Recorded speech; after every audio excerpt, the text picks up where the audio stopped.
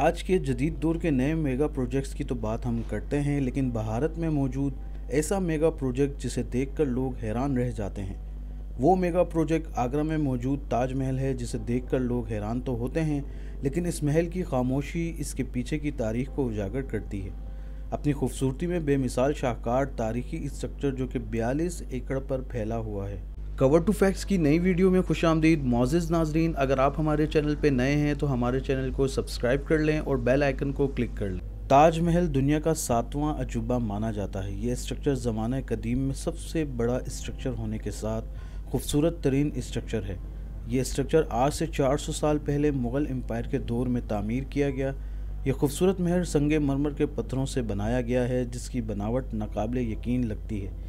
यह हकीकत है कि कई सालों की जदोजहद और हज़ारों मज़दूरों की मेहनत से यह आली शान महल तैयार किया गया, जिसमें लगभग बीस हज़ार से जायद मज़दूरों ने हिस्सा लिया। इस महल में मुग़ल एम्पायर की सकाफ़त की ऐसी धात बैठी है कि आज के जदीद दौर में ऐसा करना और सोचना काफ़ी महँगा साबित हो सकता है।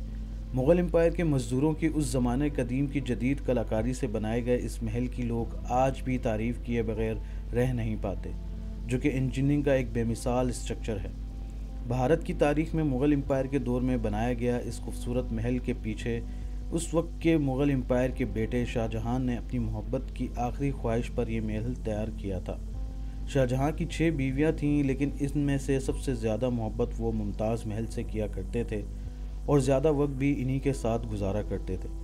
ये बादशाहत उस वक्त इंडिया और पाकिस्तान पर मुग़ल एम्पायर की हुआ करती थी। उस वक्त के मुग़ल बादशाह अपने बेटे शहाबुद्दीन खुरम से बे मोहब्बत करते थे। और अपने बेटे का मुवजना हीरे और जहरात से किया करते थे। मुग़ल शहनशाह ने अपने बेटे को शाहजहाँ के लकब से उस वक्त नवाजा, जब शाहजहाँ ने अपने एम्पायर की डिफेंस में जंगें लड़ी और तकरीबन 10 साल तक मुख्तलिफ़ अदवार में जंगें हुई, जिसमें मुग़ल शहनशाह के बेटे शाहजहाँ ने बड़ी बहादुरी से कामयाबी हासिल की। शाहजहाँ के लकब भी इन्हें जंगें बहादुरी से लड़ने पर मिला। शाहजहाँ जिस मुमताज़ महल से मोहब्बत किया करते थे उन्हीं के साथ मुग़ल एम्पायर के बादशाह ने इनकी शादी करवा दी, जिसके बाद शाहजहाँ की ज़िंदगी बहुत खूबसूरत हो गई और वक्त की रफ्तार तेज़ थी और तेज़ी से हालात तब्दील हो रहे थे। 1621 में शहनशाह मुग़ल शदीद अलालत के बाद दुनिया से रुखसत हो गए और शहनशाह मुग़ल के गुजर जाने के बाद इतने बड़े एम्पायर का बादशाह बनना और सल्तनत को चलाना कोई आसान काम नहीं था। शाहजहाँ मुग़ल शहनशाह के सबसे बहादुर बेटों में से थे और वो अपनी बहादुरी की वजह से मुग़ल एम्पायर में काफ़ी फ़ेमस भी थे।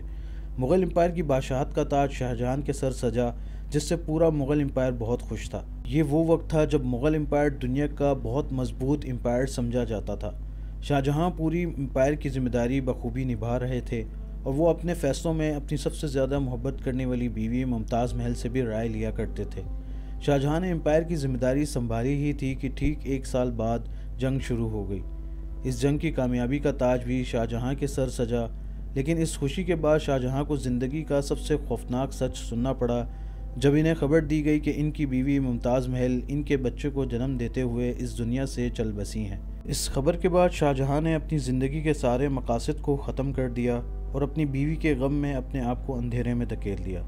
मुमताज़ महल के गम में खामोशी इख्तियार करते हुए ना खाना खाते थे और ना ही किसी और एक्टिविटी में हिस्सा लेते थे। मुमताज़ महल की ख्वाहिश थी कि इनकी कब्र सबसे खूबसूरत जगह पर बनाई जाए।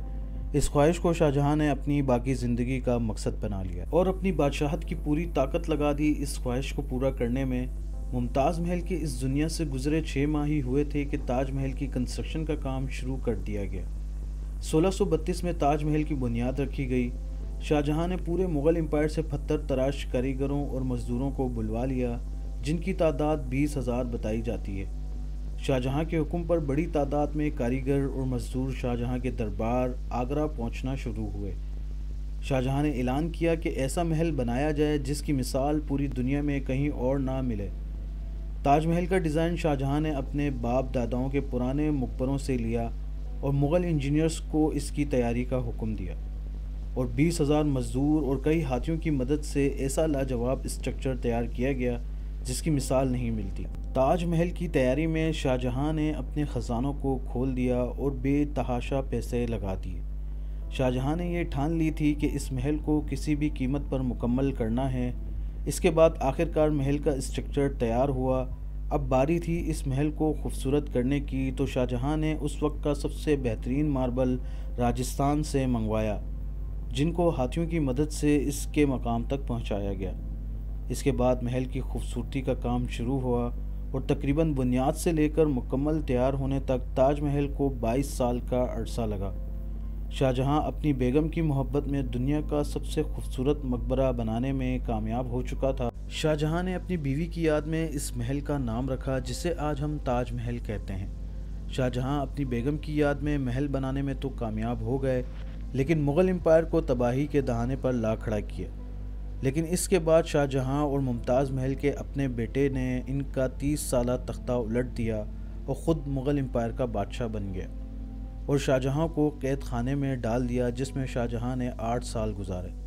इसके बाद वो इस दुनिया को अलविदा कर गए और इनकी ख्वाहिश के मुताबिक शाहजहां को बेगम के ताज महल में ही दफना दिया गया। कवर टू फैक्ट्स के मोज़ नाजरीन, अगर आपको ये वीडियो पसंद आई हो तो लाइक, शेयर और सब्सक्राइब करना मत भूलिएगा और कमेंट सेक्शन में ज़रूर बताइएगा।